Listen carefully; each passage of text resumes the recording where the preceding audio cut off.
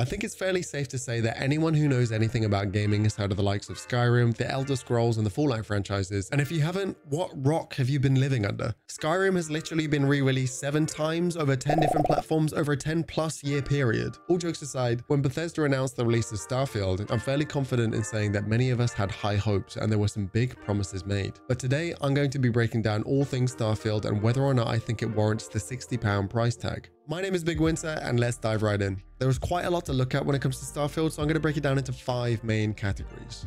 First up is gameplay and mechanics. Bethesda are fairly well known for creating inventive games full of customization thanks to their skill trees and skill point allocations. In this section, I'll be avoiding story, combat, and RPG specific elements and focusing more on the mechanical aspects of the game. To be honest with you, I've never been particularly blown away with Bethesda's approach to things like character movement and their fluidity. I've always found their games to be oddly clunky, and for that reason alone, I may be one of the few gamers out there that didn't particularly mesh well with the Fallout franchise. Skyrim was similarly clunky, but it was a game released all the way back in 2011, so it's forgiven and was fairly typical for the time. Starfield, though, doesn't really have that excuse. Despite being released more than 10 years later than Skyrim, it feels only marginally less clunky. That's not to say that it feels awful, but when compared to games of this era, it's a little disappointing, and everything feels like it has its own slight startup animation leading to a start-stop feel, and don't even get me started on ladders. I also cannot stand the O2 system and how it interacts with movement. Any mechanic that prevents you from sprinting or even moving how you want to every 5 seconds is more than a little jarring.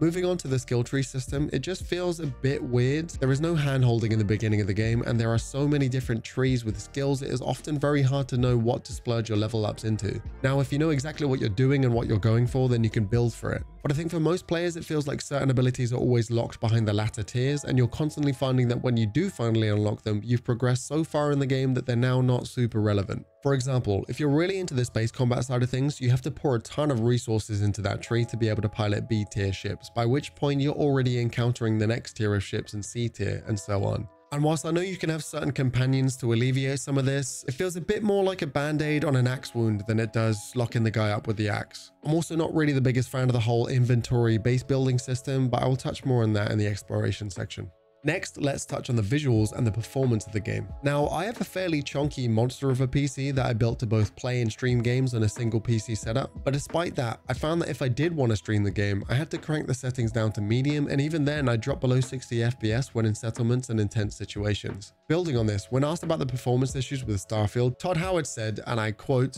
It is a next-gen PC game. We really do push the technology, so you may need to upgrade your PC for this game, which honestly did not sit well with me or anyone else apparently. Why release the game to the masses when the majority of the masses can't even run the game properly due to poor optimization? And whilst I have not played on console, the news around the release was that it didn't really run very well on Xbox either, although there have been a few patches since which claim to have improved performance somewhat. Despite this, what I will say is that when playing off stream on higher settings, the game looks phenomenal. You can really tell that the developers poured a ton of time into making the environments look truly beautiful, and I genuinely found myself just taking in the scenery from time to time. There are a ton of different environments from barren wasteland planets, frozen over planets, moons, and a number of different settings within areas of civilization. And on that note, let's start diving into these civilizations, the story, and the RPG elements. Despite what you may think of Bethesda, I think we can all agree that they've definitely put out some absolute bangers. And I firmly believe that the storytelling, RPG elements, and companions are what have made Bethesda titles so special to many. With that in mind, I was very excited to get stuck into Starfield and all it had to offer. And whilst I was definitely not disappointed, I wasn't exactly thrilled with what I found either. I put hundreds and hundreds of hours into Skyrim back in the day, completing all and every quest, including the shitty one collecting Crimson Nirnroot in the dark. However, in Starfield, I actually found it pretty tough to get truly invested in any of the storylines. Whilst the main storyline did absolutely pique my interest and I really enjoyed the Crimson Fleet questline, I found it really hard to care about any of the side quests or even those related to your companions in Constellation.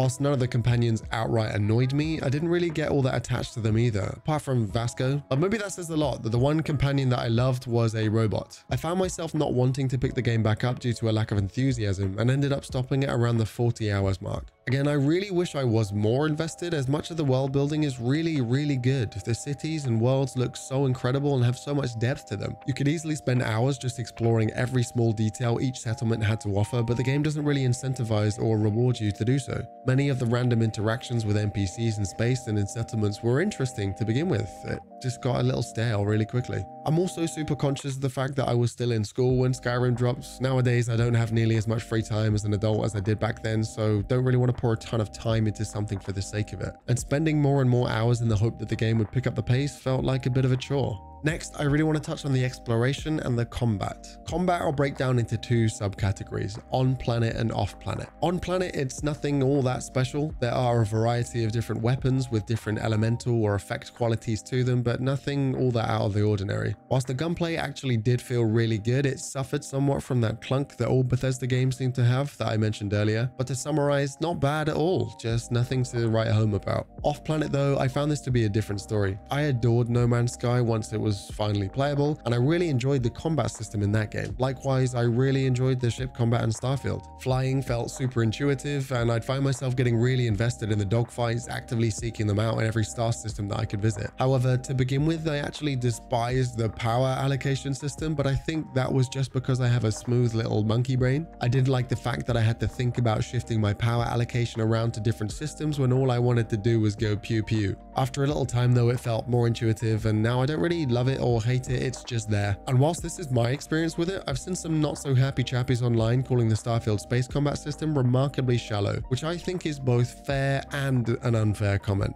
If you're comparing it to other RPG titles, I think it's actually sufficiently in depth. But if you're comparing it to a space exploration or a space combat game, then yeah, of course it's shallow. Which brings me to my next and possibly most contentious point, the exploration itself. I think the marketing team for Starfield actually did the game real dirty. It was marketed as this amazing open world, super expansive space game with over a thousand planets to explore and build bases on. But that's not really true at all. This game is a good RPG set in space not a game built for exploration. A lot of the planets are vastly desolate and the travel between them is remarkably shit. Starfield was marketed as a game without loading screens, but that's a lie if you consider fast travel animations as loading screens. And whilst there is a pretty cool and in-depth ship builder allowing for some awesome customization, you can't actually do a lot with the ship. It's more of a really expensive fast travel backpack than it is a vessel for exploration, which is a real shame. And speaking of the inventory, I found it really hard on my adventures to tell what I actually should and shouldn't pick up, and 9 times out of 10 I just end up over encumbered. And with the base building, I feel like there wasn't really an incentive to build outposts and when the game forced you to actually build one it was a little off kilter and back to my earlier point knowing exactly what resources you needed was super unintuitive leading to more confusion when looting during your adventures. And finally